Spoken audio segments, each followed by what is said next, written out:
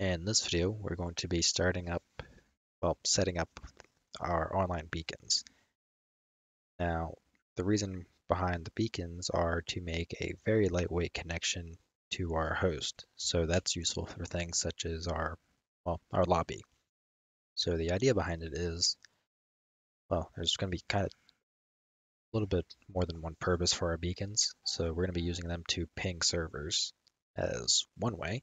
So what we do is we make a very lightweight connection. We make just kind of like that initial connection, so to speak. And we are able to try and, um, oh, what do you call it? We can ping the server. So we'll send a request to the server. Server sends one back, and kind of like the time frame that it takes for us to one send a message and receive message back is going to be kind of how we calculate the ping we can display that in our server browser. So if it takes, you know, a long time, it's obviously going to be a high ping and we probably wouldn't want to connect to that server. The other thing we're going to use it for is our lobby. So when we join a server, we want our lobby to, our host to be able to have a way to send us information of what's being changed or what the current lobby settings are. So if we're in the lobby and the host changes the map, we want to be able to see that change. So what we would do is with beacons, we can actually create, well, we can actually send RPCs like we would a normal actor. So I have my little cheat sheet here. We can go ahead and get started. We're going to need three classes, a main menu, a online beacon client, and a online beacon host object. So I'm going to create the main menu. So I'm going to go to Nazis or C++ classes, project, public, Nazi zombie. And I want to create a new section in here. Well, I'm going to create the class first. So game mode base. Make the new section. I'm going to call it main menu. I'm going to give it the name. I'm going to call it Nazi zombie main menu game mode and create the class.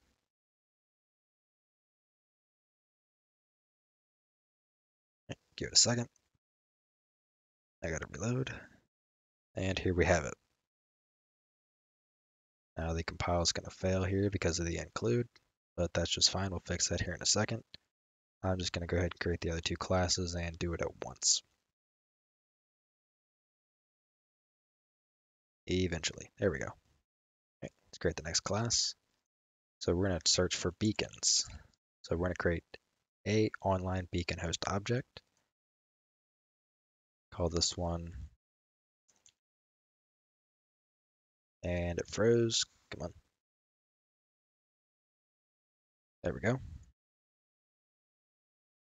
So let's call this one Nazi zombie beacon Let's call this one World at War beacon host object.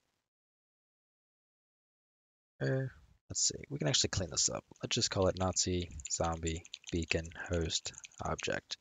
The reason I was thinking about the name is if I end up going with a multiplayer section, like a multiplayer part of this the game, like, you know, team deathmatch and that kind of stuff, I was thinking about just probably using the same beacon setup, just making the functions, well, overriding the functions so we could have a little bit of a different setup. But it's not really a big deal. But we're going to go ahead and create that class. And we're going to create the last class, which is the A online beacon client. And did I just create that in the wrong section? I think I did. I did. I meant to put that in main menu. So way we can fix that, delete and delete out of the source folder.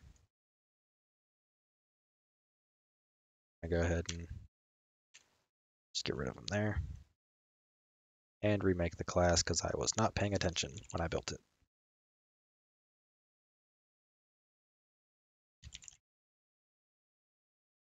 So I want to be in the main menu section.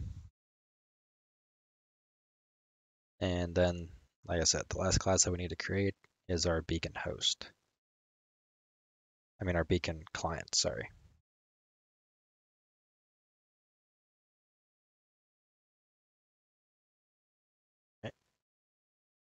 Search for beacon, do online beacon client. Path is main menu, do Nazi zombie beacon client, and create the class. This is going to be the last class that we have to create for now.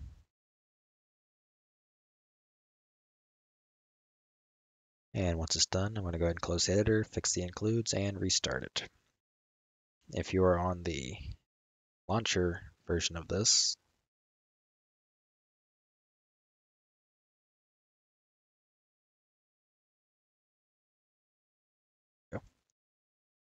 you're using the launcher version, you don't need to really restart the editor. Hot Reload should take care of it, but for some reason I'm just having some issues. So here's our game mode.cpp that we just created. I want to change the path up for the include, so it's going to be a project name. So world at war, public, Nazi zombie, and menu, and Nazi zombie, oh, the remaining part of the class. I'm going to do this for the host object. Just paste it in before the actual class and our client, like so. I want to load up the headers.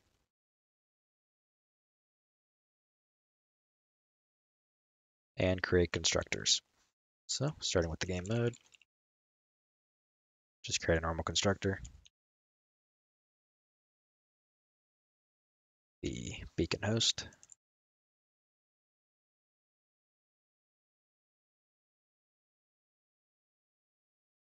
And the beacon client.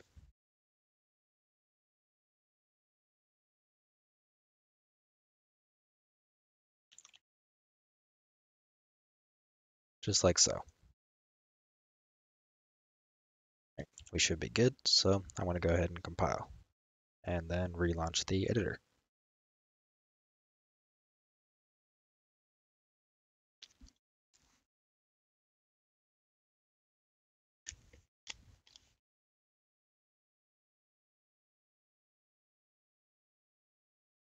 Come on.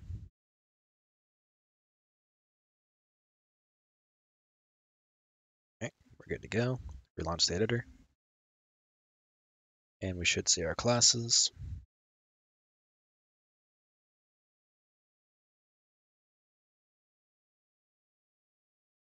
There we go.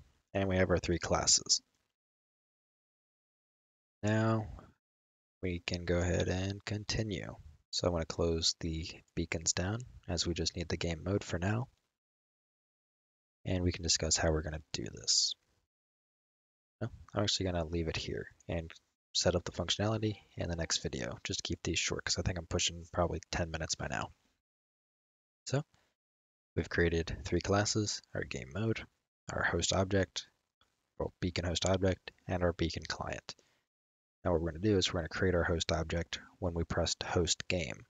When we press host game. So I hit host game, that beacon gets created, and it sets everything up for us in the game mode. So we're going to create a custom blueprint callable function to do that. And from there, we're going to set it up so it'll allow, well, it'll be allowed so we can receive connections, if that makes sense. So other people can, you know, one, they can ping us to see what the ping is, and two, they can connect to our lobby and all that kind of information. So we are good to go. We have our classes created. Now the next one will just be setting up our host object. So I'll see you then.